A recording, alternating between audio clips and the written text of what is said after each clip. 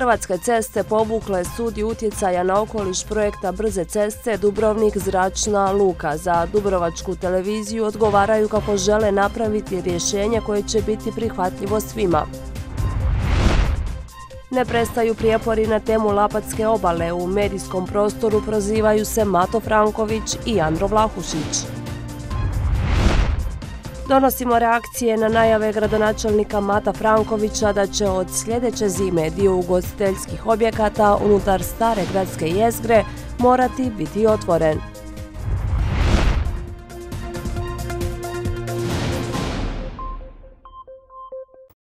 Poštovani gledatelji, dobar večer u tjedniku. Hrvatske ceste povukle su spornu studiju utjecaja na okoliš za projekt Brze ceste Dubrovnik zračna luka. U pisanom odgovoru Dubrovačkoj televiziji iz Hrvatskih cesta između ostalog navode kako ovim korakom žele napraviti rješenje koje će odgovarati svima. Podsjetimo kako je studija mjesecima izazivala buru u javnosti, a prošlogodišnja javna izlaganja rezultirala su i prosvjedom na kojem je izviždan župan Nikola Dobroslavić.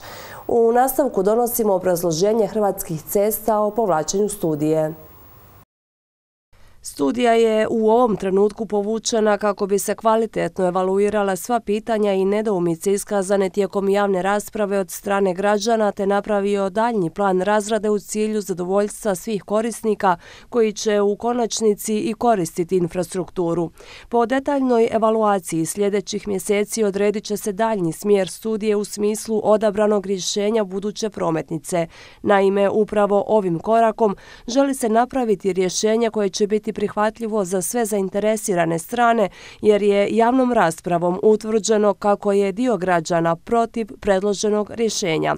Hrvatske ceste razvijaju infrastrukturu za boljitak građana te je time potreban konsenzus s lokalnim stanovništvom i samoupravom. Sva pitanja i prijedlozi proizašli iz javne rasprave služit će za potrebitu evaluaciju i donošenje konačnog zaključka u svezi mogućnosti i varijantnog prijedloga izvedbe ove bitne trase.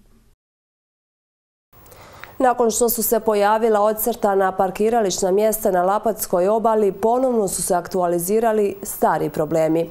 Nakon objava na pojedinim lokalnim portalima da je Franjo Pašalić podnio kaznenu prijavu protiv gradonačelnika Mata Frankovića, pitali smo upravo njega za reakciju. Umjesto da konkretno odgovori na pitanje, Franković je krenuo s komentarima na osobnoj razini. Evo kako je to izgledalo. Pa evo, ne znam, teško mi je vama odgovoriti obzirom da je gospodin Pašalić vaš partner. Pa, pa morate biti objektivni. Pa onda mi je teško vjerovati u vašu objektivnost. Pa ja pitam vas da budete objektivni. što je istina? Je li podignuta prijava? Istina je ono što je zapravo, što je istina. Ne mogu, onda je možda odvjetnik gospodina Pašalića na upravnom sudu u Splitu u kojem je to ušlo u zapisnik rekao neistinu. Znači vi smatrate da bi a kako ću vjerovati da, da čovjek koji zastupa gospodina Pašalića, koji dođe na upravni sud u Split, koji izreče to, to uđe u službeni zapisnik upravnog suda, dakle postoji službeni zapisnik i on kaže protiv odgovorne osobe smo podigli kazneni postupak i ne samo to, ovaj drugi dio nije ušao u zapisnik, ali naš odvjetnik mi ga je prenio i kaže izvidi su u tijeku. Zamislite, on čak zna i da su izvidi u tijeku. A sada gospodin Pašalić, vaš partner, kaže da to i nije baš tako. E sad kako ja biti objektivan, odnosno kako vi biti objektivni? Evo, sasvim dovoljno. Evo. Dakle, rekli ste da je kaznena prijava podignuta. Tako je rekao njegov odvjetnik, da. A nakon što su iz grada Dubrovnika demantirali odvjetnika Kačića i objavili kako je vlasnik Laguna Trejda Franjo Pašalić podnio kaznenu prijavu protiv gradonačelnika, Pisanim putem oglasio se sam Pašalić koji je napisao kako su još 2021. punomoćnici Laguna Trejda podnijeli kaznenu prijavu protiv svih odgovornih osoba radi nezakonito izdane građevinske dozvole. Njegovu reakciju prenosimo u cijelosti. Poštovani u vezi upita koji ste mi postavili o podnošenju kaznene prijave nakon provjere, mogu potvrditi da su punomoćnici trgovačkog društva Laguna Trade DOO još 2021. godine podnijeli kaznenu prijavu protiv svih odgovornih osoba radi nezakonito izdane građevinske dozvole, te drugih akata u pogledu gradnje. S tim u vezi mogu reći da je kaznena prijava prema mojoj informaciji u obradi. Mislim da se to kaže da su izvidi u tijeku te daljnjih informaciju u pogledu iste nemam. Očekujem da sve nadležne institucije profesionalno, odgovorno i zakonito odrade svoj posao. S poštovanjem. Prijapori na temu Lapatske obale nastavili su se kroz cijeli tjedan. Tko je pogriješio u cijeloj priči, a tko nije? Prvo se oglasio bivši dubrovački gradonačelnik, a danas nezavisni gradski vijećnik Andro Vlahušić, koji je za sve probleme oko Lapatske optužio aktualnog HDZ-ovog gradonačelnika Mata Frankovića. Vlahušić naglašava ako je građevinska dozvola za cijelu dionicu Lapatske obale izdana bez riješenih imovinsko-pravnih odnosa s koncesionarom Marine Frapa, tada grad Dubrovnik ima vrlo ozbiljan problem. Pa osnovna priča je da li je priznavanje građevinske dozvole grad Dubrovnik e, riješio imovinsko-pravne odnose sa Marinom Frapa ili nije. Jer kada smo izdavali lokacijsku dozvolu za Lapasku obalu, za projekt koji građani Dubrovnika mogu vidjeti kako izgleda na video prezentacijama još iz 2016. godine. Tada je bilo potpuno jasno da od Batale do ekonomskog fakulteta nemamo problema sa koncesionarom, a da od Lapaske obale do Osana postoji dio problema sa koncesionarom. Tada sam razgovore vodio sa gospodinom Pašalićem, gospodin Franković kao predsjednik gradskog vijeća je bio sa mnom na tim sastancima misleći da je građanska dozvola izdata da su riješeni imovinski pravni odnosi, jer to je preduvjet. Nitko u Hrvatskoj ni u gradu Dubrovniku ne možete graditi i dobiti građansku dozvolu ako niste riješili imovinsko pravna pitanja. Ako mi recimo susjedu parceli, onda ne možete dobiti građansku dozvolu. A još manje možete povući evropska sredstva, radi se o nekih 50 milijuna kuna. E, glasali smo i na gradskom vijeću za e, sporazum sa Pašalićem naknadni iako nam nije bila prikazana ova skica sa parkinzima u kamenome e, na kamenom prostoru, na kamenom obali, što je nakaradno nigdje e, vidljivo. Međutim, ispada da po tužbama koje e, Laguna Trade tuži grad Dubrovnik da nisu riješeni imovinsko pravni odnos. Onda ostaje osnovno pitanje, je li prije izdavanja građevinske dozvole grad Dubrovnik riješio imovinsko pravne odnose? Ako nije, onda građevinska dozvola nije pravovaljana. Onda se ni radovi nisu mogli izvoditi, onda se ni evropska sredstva nisu mogla dobiti. Ako jesu riješena imovinsko pravna pitanja, onda sve tužbe Pašalića padaju u vodu, to je onako nebitno, onda i evropska sredstva u iznosu 50 milijuna kuna su legalno po hrvatskim zakonima i po evropskoj praksi uložena i to je ono na što Franković treba odgovoriti. Samo na jedno pitanje. U ovo tjednoj emisiji Točka glediš Sanita Bonačić-Obradović i Viktorija Knežević komentirali su i utjecaj DDS-ovog čelnika Pera Vičana na lokalnu politiku.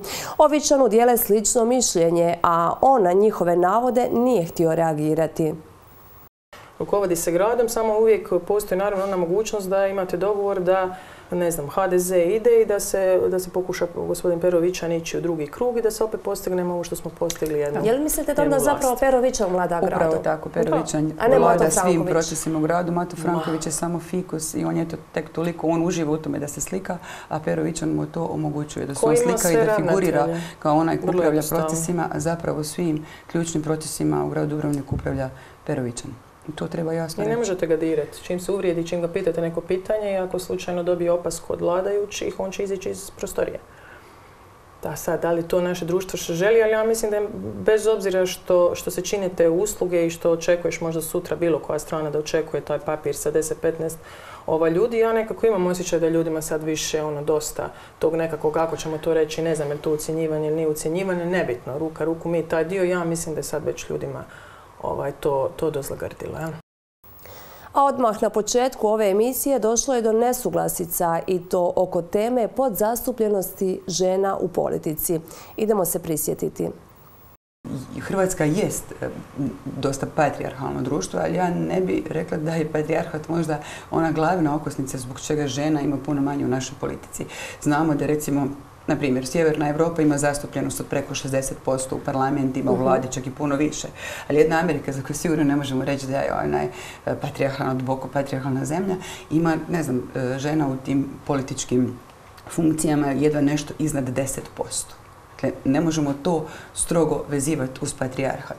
U našoj e, zemlji možemo. U našoj zemlji patrijarhalno i to konzervativno e, postoji. Pa, žene se stavljaju u onaj dio, prosti, žene se stavljaju u onaj dio, aha... Ani te dozvoli, prosti, ja tebe nisam prekidala. Ne, oprosti, prosti, samo se ne nadograđujem, ne, ne, ne, razumijem da je ovo to... Me prekidaš i Ajme, ispričavam se, ovaj, Viktorija, ako je to takav veliki problem. Mislim sam da lijepo komuniciramo. Dobro, idemo, nastavite. Ajmo dalje. A čuli ste kako je Viktorija Knežević u točki gledišta izjavila kako Pero Vičan zapravo vlada svim procesima u gradu, a da je Mato Franković tek fikus koji uživa u tome da ga se slika jer mu je to upravo Pero Vičan omogućio. Pitali smo i gradonačelnika za ovaj komentar. Pa vi znate da ja na navedenu gospođu koja silno želi moju reakciju neću reagirati kao do sad bezbroj puta, neko ona i dalje nastaviti pričati. Ja moram raditi, a drugi nek pričaju. A općenito vezano za te navode, nije to prvi put da se takvi navodi spominju u javnosti. Puno puta se i u gradskom vijeću čulo da Perovićan vodi grad iz barake, nije to e, ništa novo. Kako to komentirate? Pa što ja imam komentirati? Ja svakodnevno radim svoj posao uredno, časno i pošteno. Iza mene stoje projekti, iza mene stoji realizacija i onoga što je osmišljeno i onoga što je završeno i onoga što je u tijeku. A svakome volja na veselje. Dakle, svak ima pravo misliti i doživljavati određene trenutke, određene okolnosti, onako kako oni smatraju bitnim. vrijeme izbora će doći vrlo skoro. I tada zapravo su građani ti koji odlučuju ko je jeftini populist, ko ne zna na način predlaganja nečeg novog, inzistiranja na nečemu, smišljanja nečemu, nego podvalama i tako dalje doći do izražaja. Dakle, svatko ima svoj način. Ja mislim da je moj jedan potpuno drugačiji. Ja imam viziju grada, znam kako se grad treba razvijati i to je ono što ja nudim građanima. Dakle, rezultati za mene postoje, volili me ili ne, to mi nitko ne može opovrgnuti. Afera iza mene nema, volili me ili ne, i to nitko ne može reći evo ovo je neka afera Mata Frankovića jer ni jedna afera koliko god ih pokušavali smisliti niko nije uspio u tome jer nikad nije ni bilo nijedne, a tako će i ostati do kraja mandata. Čiste ruke.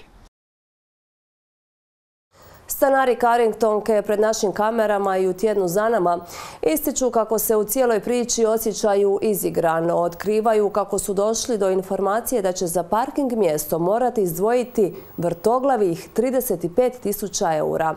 Ovo je njihova strana priče. Po meni je jedno rješenje prodati auto i seliti se iz ovog dijela i naći negdje mjesto koje je prikladnije za život. Jer Riječi su ovo stanara Carningtonke, jednog od mnogih koji su nakon brojnih obećanja dovedeni pred zid i koji ne znaju kome pred samim krajem ove trakavice vjerovati. Skoro godinu i pol dana prošlo od prvog prosvjeda stanara ulice Andrije Hebranga, no u rukama nemaju nikakvu garanciju da će parking mjesta hrvatskim ratnim vojnim invalidima biti subvencionirana, kao ni da će ostatak branitelja koji nemaju pravo na takvu povlasticu moći kupiti ta mjesta po povoljnijoj cijeni koje je gradonačelnik navodno dogovorio s investitorom. U međuvremenu, Frankvić pred našim kamerama i dalje tvrdi kako je on garancija, te da su sva obećanja i dalje na snazi. Naravno da je na snazi postignuta je posebna cijena koja nije komercijalna, koju treba uplatiti hrvatski ratni vojni invalidi i obitelji poginulih. dakle, ta cijena je izlicitirana od strane, odnosno istaknuta od strane izvođača radova, tako da mislim da više tu zapravo nema nikakvog problema i da smo tu priču stavili ad acta. Koje se cijeni E sad na pamet, što god da vam rečem sa ovako na brzinu, krivo ću vam reći, je li to bilo 17.000 eura ili tako nešto, ili je bilo 12 ili 15. Međutim, ta priča i nije baš adakta, kako to gradonačelnik voli reći, s obzirom da do samih stanara dopiru potpuno drugčije informacije. Mi taj parking koristimo već jedno od 23-4 godine. Ja sam do sada uplatio nekih 12.000 eura za taj parking što sam ga koristio. Tako. Međutim, sad neslužbeno doznajemo da bi cijena bila od investitora 35 tisuća eura po parkingnom mjestu. I sad smo svi iznenađeni, zatečeni u stvari. Tako da ne znamo uopće ovaj, kome vjerovati, što vjerovati i što očekivati i da li uopće išta očekivati. Na tom sastanku, barem ono što sam ja čuo, je gradonačelnik rekao da je cijena jednog parking mjesta, da je on dogovorio sa investitorom cijenu jednog parking mjesta od 20.000 eura. Sada ovo što smo rekli, spominje se ovako kuloarima cijena od nekakvih 35.000 eura po parking mjestu i to je jedino sporno u odnosu na onu prethodno deklariranu cijenu od strane gradonačelnika. Investitora ističu razumiju s obzirom da gradi na zemljištu koje je osobno kupio i za koje ima valjene dozvole, no sporna su neispunjena obećanja grada i nedostatak garancija za ta ista obećanja, kao i cifre koje nitko od njih nije u mogućnosti platiti. Sada se poručuju osjećaju izigrano, a napominju i kako su samo zbog spomenutog dogovora povukli pokrenute pravne radnje. Izigrano nego kako? Znači kad smo odustali od prosvjeda, čak smo mislili blokirati ulicu Andrije Hebrana. Znači, kad, od kad smo mi dali pristanak da se sprovede građevinska dozvola i kad su ovi počeli sa radovima, nas više niko niti je kontaktirao, niti, znači jednostavno smo izvisili. Sad, znači, investitor može nama nabijati cijenu kakvu hoće. A mi smo osuđeni na ta parking mjesta. Ne samo da smo mi izigrani, nego u cijeloj priči od samog početka izigran je, izigrana je cijela ulica, izigran je cijeli kvart, a pomalo mislim da su izigrani i građani, svi. Od tupa pa do Iline glavice, jer to nije problem samo jedne zgrade, jednog ulaza, dva ulaza, to je problem cijelog naselja. Mislim da je i problem grada, a onda i gradonačelnikova. Posebno su im sumnjivi navodi o zvučnom zapisu zajedničkog sastanka stanara s gradonačelnikom koji se na njihovu inicijativu treba voditi. Pa ne znam, jedan gospodin je tražio da se vodi zapisnik, zapisnik se nije vodio na tom sastanku, svi su komunicirali, svi smo pričali, sve se lijepo dogovorilo. A na tom sastanku kad je bio sastanak gradonačelnika, na početku sastanka ja sam tražio ovaj, da se napravi zapisnik. Međutim, do tog zapisnika nismo nikad uspjeli doći. Ja sam poslao dva ili tri maila na ured gradonačelnika, tražio sam ako mogu dobiti primjerak tog zapisnika, nisam nikad dobio i tako da praktično nemam nikakav pismeni dokaz u prilog ovoj tvrdim da je on rekao 20.000 eura, tako da moguće to s njegove strane i naravno i demantirati. Rečeno je snima se cijeli razgovor, bit će zapisnik, ako se snima i ako postoji i ako je čvrsto dogovor i ako se iza riječi stoji, onda ne bi bio sporan ni taj zapisnik u pisanom ili nekakvom snimljenom obliku. Ja sam izričito pitao, molim vas dajte na početku sastanka vodimo zapisnik, on kaže da ga sad nije vodio, pa nemam što reći. Onda je gradonačelnik rekao, evo pa ja jamčim, zar vam to nije dovoljno, ono kao, treba li nešto više. I mi smo kao našem gradonačelniku željeli vjerovati. A sad ne znam u stvari jesmo li bili ovaj, u krivu ili ne. S vremenom im, zaključuju, postaje sve teže. Potreban im je prilaz njihovim domovima i za njega će po dogovoru platiti, ali traže da ta cijena bude ista ona o kojoj se razgovara od samog početka. Ona na koju se poziva prvi čovjek grada u izjavama kako je on svoj dio odradio i završio. No, što se skriva iz relacije gradonačelnik-investitor? Ključno je pitanje ove priče.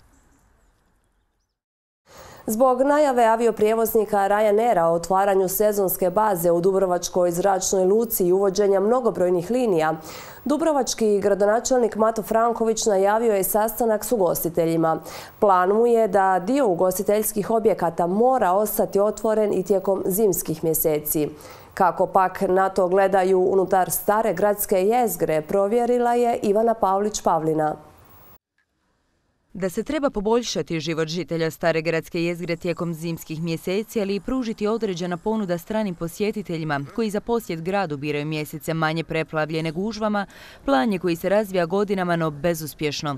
Puste ulice spavaju zimskim snom, otvoreni ugostiteljski lokali mogu se nabrojiti na prste, pa je gradonačelnik Mato Franković odlučio napraviti konkretan korak, što je ranije otkrio pred našim kamerama. Ne moraju svi raditi, ali jedan dio lokala mora biti otvoreni. Napravit ćemo jedan prijedlog ugostiteljima, vrlo skoro će on biti gotov. Prijedlogom bi se točno odredio koji broj objekata unutar zidina mora biti otvoren, kao i na koji način, a provjerili smo i kako na sve gledaju gostitelji. Predstavnik ceha ugostitelja Đani Banovac takvu odluku podržava.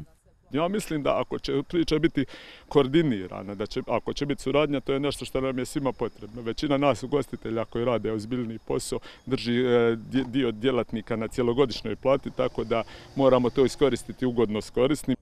Ključ je, smatra Banovac, upravo u zajedničkoj koordinaciji jer je to potrebno i samim građanima. Imali smo festu Svetog Laha, ja, prvi nisam imao gdje sjesti i nešto pojesti u to vrijeme. Mislim da svi moramo poraditi na temu da se takve stvari ne događaju. Većina ugostitelja unutar stare gradske jezgre koji nisu htjeli pred naše kamere dok odluka ne bude službena, istaknula je kako nema smisla svjesno poslovati u minusu dok grad i svi dionici u turizmu ne naprave korak da bi gosti uopće dolazili u Dubrovnik koji je trenutno odsječen od svijeta sadašnja situacija, odraz sadašnje situacije. Mi smo trenutno uistinu odsječani kad puše bure ili kad je nekako ružno vrijeme. Ja znam prošetati pa nikoga ne sresti u gradu. Realno je da nema, ako nemaš za koga otvoriti, otvorit, nećeš ni otvoriti. A na sve se kratko osvrnuo i ugostitelj Nikša Grljević koji je svoj lokal u srcu grada držao otvoren do blagdana Sveta Tri kralja. Da, ja sam radio znači cijelu zimu, do, do tri kralja smo radili i mi, mi smo u gubitku bili. Pokušali smo, a znači nismo imali gosta. A ugostitelji su tu samo za popratiti ljude koji dođu na tu destinaciju, kao recimo Dubrovnik, i uslužiti. Znači, ugostitelji uopće nemaju udjela nikakvoga, niti funkcije, E, e, e, diktirati dolaze gosti u recimo iz svih krajeva Europe ili svijeta. A kao jedna od opcija u slučaju nepoštivanja odluke koja dođe na snagu je, kako kaže gradonačelnik, i financijski podizanje cijene ili ukidanje javne površine.